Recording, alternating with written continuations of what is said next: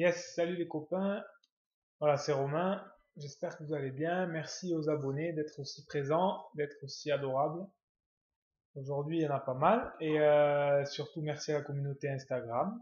Donc, n'hésitez pas à vous abonner, à partager. Et comme dans le titre indiqué, je vais vous montrer un site là qui vient de sortir. Donc, j'étais en train de lire euh, des articles là.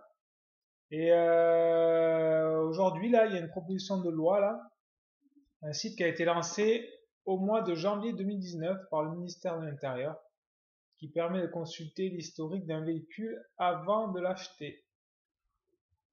Et ça, c'est quand même top, parce qu'en fait, c'est gratuit.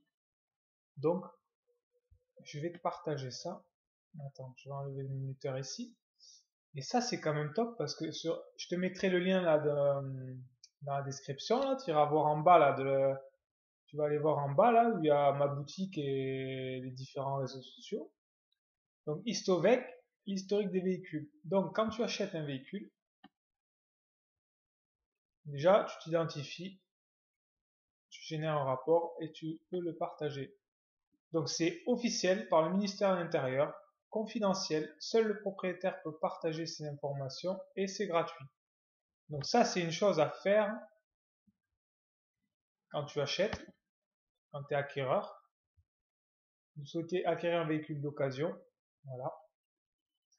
Tu demandes au vendeur de partager l'historique de son véhicule.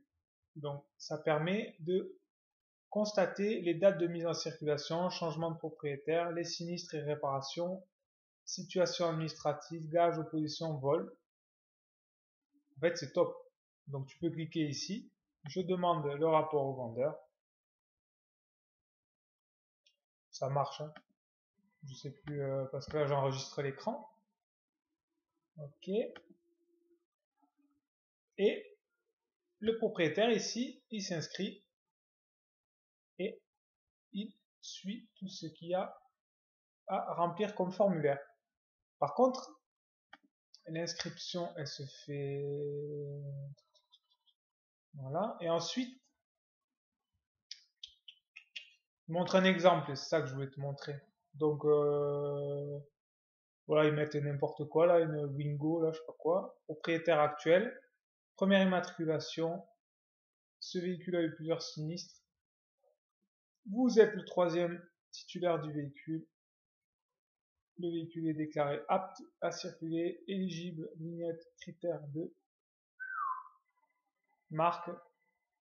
Ah oui, il y a la marque, le châssis, le nom commercial, la couleur, le poids, et en gros il y a tout quoi. Bon, ça vous ça vous élève pas quand même pour un véhicule un peu cher de, passer par un, un expert automobile? Titulaire, identité, carte grise, première immatriculation, ok, si elle est gagée ou pas. En fait, ça regroupe tout ce qu'il y avait avant, quoi. Certificat de non-gage et l'historique des opérations. Changement titulaire, session VAT en particulier, changement de titulaire. Second rapport d'expert. Ah ouais, il y a eu les accidents. Premier. C'est quand même top.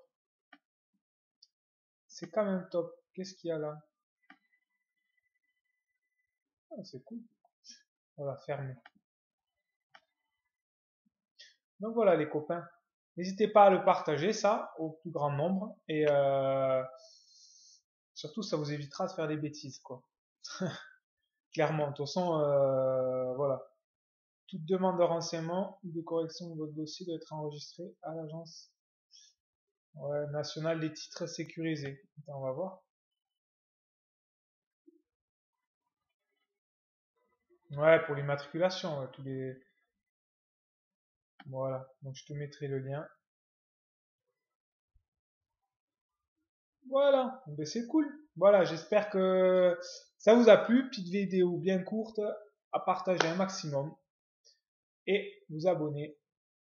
Et je vous souhaite à très vite. Bisous les copains.